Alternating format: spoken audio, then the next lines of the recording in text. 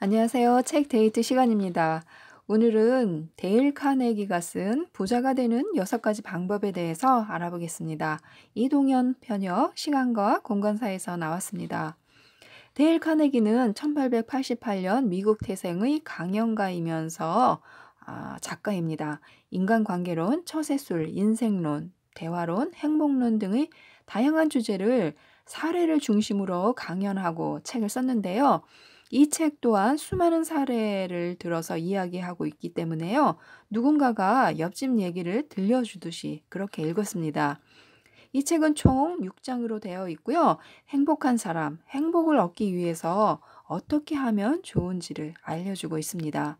1장, 걱정에서 벗어나는 법에서는요. 오늘을 충실히 사는 것이 곧 내일에 대한 준비다. 병이 아닌 걱정이 죽음에 이르게 한다 등 만병의 근원인 걱정병에서 벗어나는 방법을 알려주고 있습니다. 2장 고민을 해결하는 법에서는요. 고민의 원인을 파악하고 해결하는 방법을 알려주고 있고요. 3장 비평에 의연하게 대처하는 법에서는 비난에 일일이 신경 쓸 필요가 없다면서 자신의 일에 최선을 다하는 법을 알려주고 있습니다. 4장 항상 활기차게 사는 법에서는요. 무엇이 사람을 피로하게 만드는지 그 원인과 피로, 걱정, 분노의 주범인 권태를 물리치는 법을 소개하고 있습니다.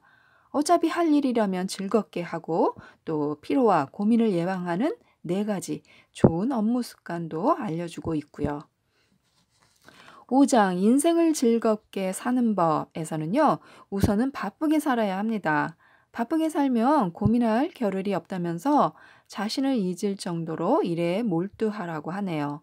고민도 하나의 습관이라면서 시시하게 살기엔 인생은 너무 짧다. 그러니까 가치 있는 일에 인생을 바치고 사소한 일에 집착하지 말고요. 피할 수 없다면 받아들이고 과거를 잊고 미래를 위한 계획에 집중하는 것이 현명하다고 합니다. 지금까지 1장에서 5장까지 간략하게 내용을 살펴봤는데요. 저는 6장이 핵심적인 내용 같아서 6장 참다운 행복을 얻는 법을 집중적으로 알아보겠습니다.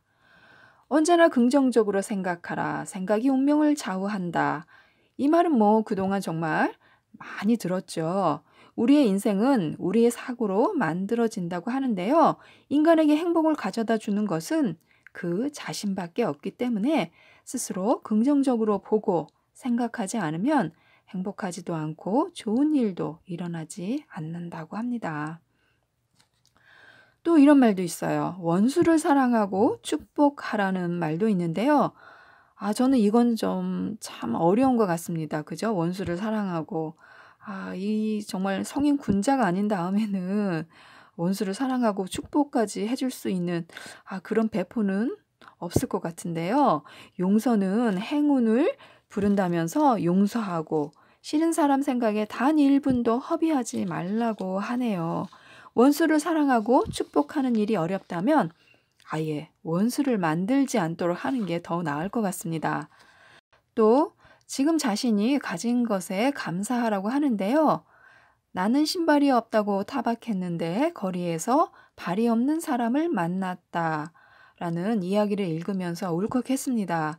항상 내가 가지지 못한 것만 볼 것이 아니라 내가 가진 것을 헤아리면서 감사해야 한다는 생각을 했습니다. 또 이런 글이 있어요. 작은 것에서도 행복을 느껴보라는 글이 있는데요. 보르힐드 다알의 사례가 인상적이어서 읽어드리도록 하겠습니다. 나에게는 한쪽 눈밖에 없다. 그 한쪽 눈도 심하게 다쳐 왼쪽 눈 가장자리의 틈새로 겨우 사물을 볼 수 있었다. 책을 볼 때도 왼쪽 눈을 책에 바짝 대야 겨우 볼 수 있을 정도였다. 그러나 그녀는 남의 동정을 받기를 거절하고 특별 취급받기를 매우 싫어했다. 어렸을 때도 비장의 아이들과 비석치기 놀이를 즐겼다. 하지만 표적이 잘 보이지 않았기 때문에 아이들이 놀다 돌아가고 나면 땅바닥에 엎드려 표적을 찾았다. 이렇게 해서 얼마 후에는 자신이 놀던 땅바닥 구석구석까지 모두 외울 수 있었다. 그래서 여기저기 뛰어다녀도 남한테 지지 않게 되었다. 집에서는 책 읽는 법을 배웠는데 글자를 보기 위해 눈썹에 닿을 정도로 바짝 되어야만 내용을 이해할 수 있었다. 하지만 그녀의 끊임없는 노력 덕분에 미네소타 대학에서 문학사 학위를, 콜롬비아 대학교에서는 문학 석사 학위를 받았다.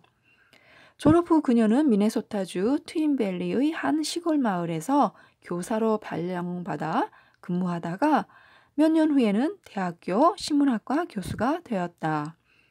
그리고 그곳에서 13년 동안 강의를 했으며 주부클럽에서는 강연을 했고 라디오에서는 자신의 저서와 삶에 대해 방송을 진행했다. 그녀는 한 인터뷰에서 이렇게 고백했다. 언제나 내 마음 속에는 아예 실명해 버리지나 않을까 하는 공포감이 잠재해 있었습니다. 그래서 이 공포심을 극복하기 위해 쾌활하고 다소 경박한 듯한 과잉 행동을 했지요. 1943년 그녀가 52세가 되었던 해 마침내 기적이 일어났다. 유명한 마요 진료소에서 눈 수술을 받은 결과 40배나 눈이 밝아졌던 것이다. 새롭고 아름다운 세계가 그녀의 눈앞에 펼쳐졌다. 그녀에게는 부엌에서 접시를 닦는 일마저 절로 어깨춤이 쳐질 정도로 즐거웠다. 저는 마치 헬렌 켈러 이야기를 읽는 것 같았는데요. 비누 거품과 날아가는 참새 한 마리에도 행복과 기쁨에 넘쳐 감사해하는 모습을 상상하면서 자신의 처지를 한탄하면서 걱정만 하고 가만히 있었다면 과연 눈이 40배나 밝아지는 행운을 이끌어낼 수 없었다는 생각이 들었습니다. 무한한 감사의 마음으로 자신의 처지를 인정하고 뛰어넘는 노력의 결과가 이 같은 행운으로 이어질 수 있어서 감동적이었습니다. 또 이런 말이 있어요. 가장 좋은 일은 가장 힘들게 찾아온다는 말이 있었는데요. 이 말이 굉장히 위안이 되었습니다. 지금 너무 힘들다, 너무 어렵다고 느끼시는 분들에게 힘이 되는 말이 아닐까 싶은데요. 발상의 전환으로 기회를 잡아서 위기를 탈출할 수 있을지 한번 고민해 보시기 바랍니다. 또 이 책에는 매 글이 끝날 때마다 성공적인 삶을 위한 체크 포인트가 작은 박스 안에 수록되어 있는데요.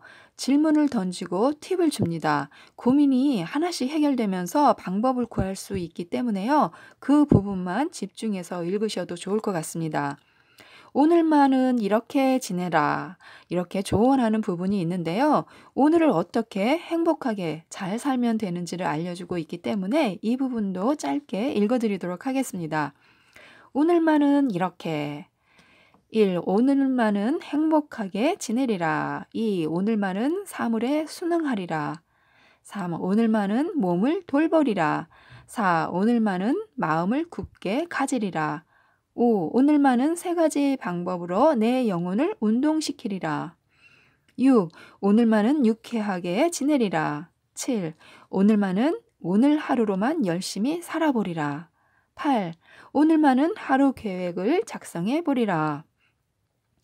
9. 오늘만은 단 30분이라도 혼자서 조용히 쉴 수 있는 시간을 가져보리라. 10. 오늘만은 두려움을 갖지 않으리라. 이 10가지 중에서 어, 자신이 바꾸고 싶은 것은 바꿔서요. 한번 이렇게 써 놓으시고 아침에 일어날 때 또 이렇게 어, 외출하실 때 한 번씩 읽어 보시면 좋을 것 같습니다. 오늘만은 이렇게 행복하게 지내리라. 그죠? 굉장히 또 재미있는 것 같아요. 아, 저자는 이 책을 쓰기 위해 7년 전부터 준비했다고 하는데요. 부자보다는 행복한 사람이 되려고 합니다. 책 제목은 부자가 되는 여섯 가지 방법인데 부자보다는 행복한 사람이 되려고 하니까 아, 처음 프롤로그를 읽었을 때는 뭔가 좀 안 맞는다는 생각이 솔직히 들었습니다. 행복한 부자가 되면 되지 하면서요. 그런데 책을 읽다 보니까요. 부자가 되기 위해서는 먼저 행복한 사람이 되어야 한다는 것을 느꼈습니다. 행복한 사람이 되지 않고서는 부자도 될 수 없다는 사실을 느꼈는데요. 결국 우리가 부자가 되려는 것은 행복하게 잘 살려고 그러는 것인데 부자만 되고 행복하지 않다면 부자가 된들 무슨 소용일까 이런 생각을 했습니다. 물론 그래도 좋다. 부자가 되었으면 좋겠다는 생각이 먼저 들지만요. 우선은 우리의 마음과 정신을 행복하게 하는데 집중하면 더 빨리 행복한 부자가 될 수 있다는 생각이 들었습니다. 어떠한 경우에도 자신의 마음을 다스릴 줄 아는 것이 가장 어려운 일이잖아요. 그래서 걱정과 고민과 비평에서 벗어나고 항상 활기차게 인생을 즐기면서 행복을 얻는 법, 진짜 부자가 되는 법을 이 책을 읽으시고 터득하시길 바랍니다. 부정을 긍정으로 바꾸어서 성공하고 부와 행복을 갖게 된 수많은 사람들의 사례를 통해서요, 희망과 용기를 얻으실 수 있습니다. 이상 책데이트였습니다. 감사합니다.